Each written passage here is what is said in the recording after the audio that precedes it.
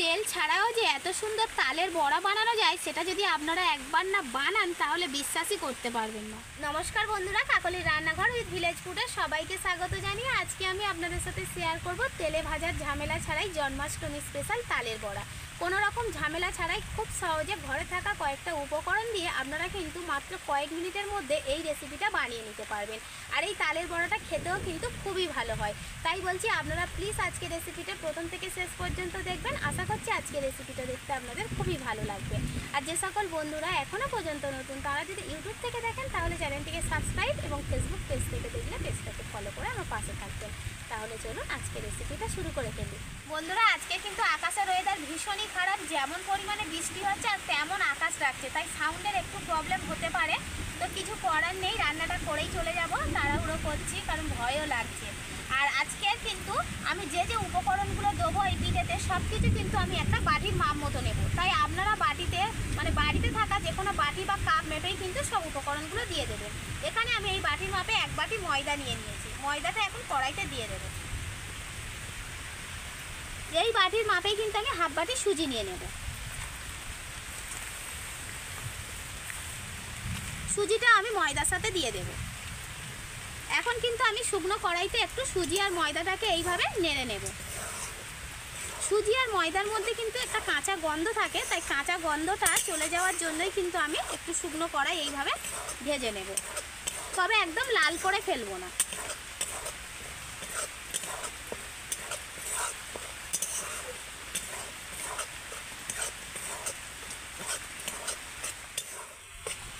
আর সুজিটাকে আমি ভালো করে ভেজে নিয়েছি। এর মধ্যে থাকা কাঁচা গন্ধ কিন্তু চলে গেছে। এবার আমি এটাকে নামিয়ে নেব।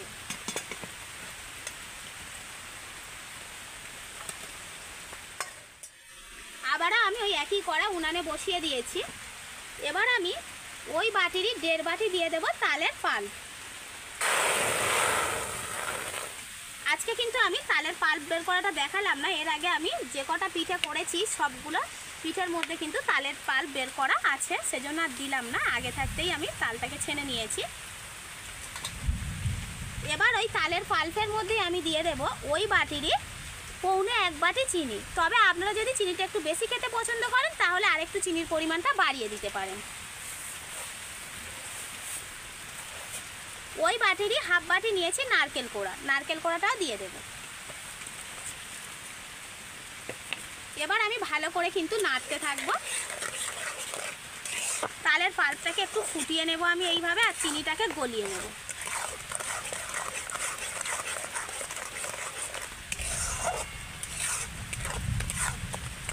এইভাবে তালের বড়া বানানো কিন্তু ভীষণই সহজ, মাত্র কয়েক মিনিটের মধ্যে হয়ে যায়, কোনো রকম ঝামেলা থাকে না। তালের পাল্পটাকে আমি ভালো করে ফুটিয়ে নিয়েছি। এবার আমি দিয়ে দেব স্বাদ মতো একটু লবণ। একটু নেড়ে দেব। ওর মধ্যে আমি দিয়ে দেব হাফ বাটি আতপ চালের গুঁড়ো। যদি আতপ চালের গুঁড়ো কাছে থাকে দিয়ে দেবেন, তা না হলে নাও দিলে হবে।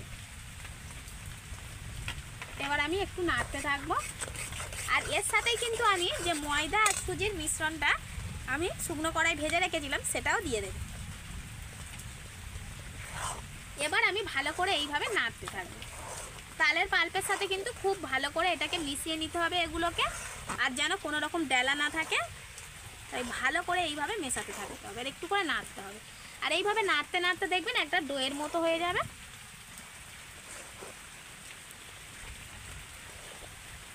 যদি আপনারা সব উপকরণগুলোর মাপটা সঠিক রাখতে পারেন না, তাহলে দেখবেন তালের ফুলরি বা তালের বড়াটা খেতে ভীষণ ভালো লাগবে।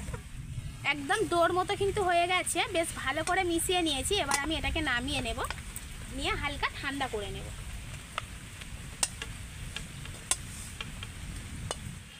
কড়াইতে আমি জল দিয়ে দেব। এবার আমি একটা স্ট্যান্ড বসিয়ে দেব। এবার ঢাকনা দিয়ে আমি জলটাকে ভালো করে গরম করতে দেব। ডোটাকে এবার আমি ভালো করে মেখে নেব।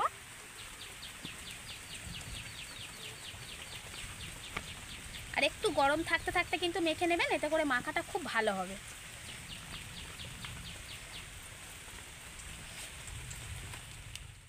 হাতের তালুতে একটু সাদা তেল মিশিয়ে নিয়েছি। এবার আমি এখান থেকে ছোট ছোট বড়া বানিয়ে নেব। আপনারা ছোট, বড়, মাঝারি যে কোনো সাইজের করতে পারেন, যার যেমন পছন্দ। এইভাবে গোল গোল করে একদম বড়ার শেপে করে দিতে হবে। এই দেখুন। কত সুন্দর গোল শেপ চলে এলো। একদম ছোট ছোট করে করে নেব। যেমন করে ঠিক বড়া বানায়, ঠিক তেমন।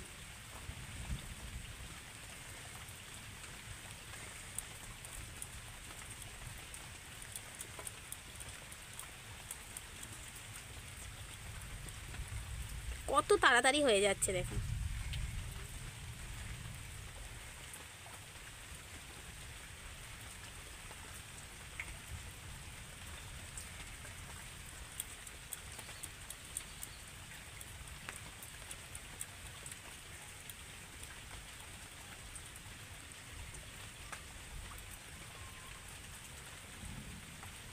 এইভাবে তালের বড়া বানালে কিন্তু এক ফোঁটা তেলও লাগবে না, এমনকি তালের বড়ার স্বাদটাও কিন্তু পাল্টাবে না।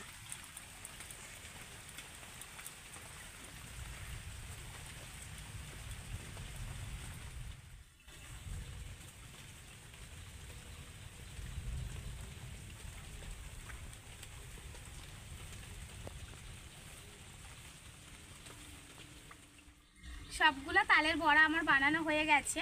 আর এদিকে আমি একটা ছিদ্রযুক্ত থালা নিয়ে নিয়েছি। থালার গায়ে একটু সামান্য সাদা তেল মিশিয়ে নিয়েছি। এবার আমি এই বড়াগুলোকে এই থালাটার মধ্যে সাজিয়ে নেব এইভাবে।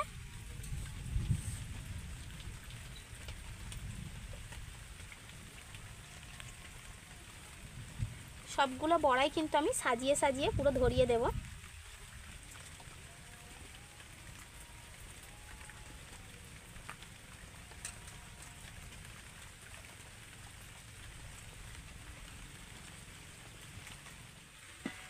এদিকে জলটাও গরম হয়ে গেছে।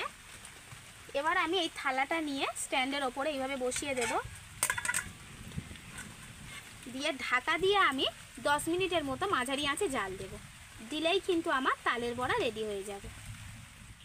দশ মিনিট হয়ে গেছে, এবার আমি ঢাকনাটা খুলে দেখে নেব। ওয়াও, কি সুন্দর হয়েছে দেখুন তালের বড়াগুলো। বেশ ভালোভাবে কিন্তু ভাবানো হয়ে গেছে, দেখেই বোঝা যাচ্ছে। এবার আমি থালাটাকে নামিয়ে আগে বড়াগুলোকে ভালো করে ঠান্ডা করে নেব। তালের বড়াগুলো কত সুন্দর হয়েছে দেখুন। যেমন সুন্দর রং এসছে, তেমন সুন্দর দেখতে হয়েছে। এবার আমি তুলে তুলে এরকম প্লেটের মধ্যে রেখে দিচ্ছি।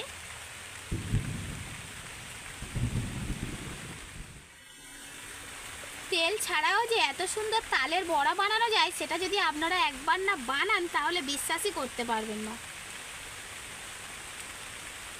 তালের তালের ফুরুলিগুলো কত সুন্দর হয়েছে দেখুন।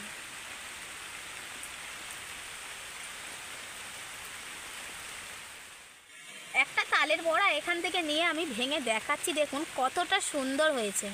এই দেখুন। আপনারা তো সব সময় তেলে ভেজেই তালের ফুরুলি বা তালের বড়া বানান। তবে একবার এই পদ্ধতিতে বানিয়ে দেখতে পারেন। খেতেও যেমন অসাধারণ হয়, দেখতেও ভালো হয়। আর বাড়ির সবাই তো ভীষণ খুশি হয়ে যাবে। বন্ধুরা, আমার আজকের এই তেলে ভাজার ঝামেলা ছাড়াই যে তালের ফুরুলি বানালাম, এই রেসিপিটা যদি আপনাদের ভালো লেগে থাকে, তাহলে অবশ্যই লাইক কমেন্ট শেয়ার সাবস্ক্রাইব এবং ফলো করে আমার পাশে থাকবেন। আর আমার নিত্য নতুন রেসিপিগুলো দেখতে থাকবেন। তাহলে আজকের মতো এখানেই শেষ করছি। সবাই ভালো থাকবেন, সুস্থ থাকবেন। দেখা হবে পরের রেসিপিতে আকাশের ওয়েদার ভীষণই খারাপ মানে এখানে থাকা যাচ্ছে না। এবারে বাড়ি যেতেই হবে।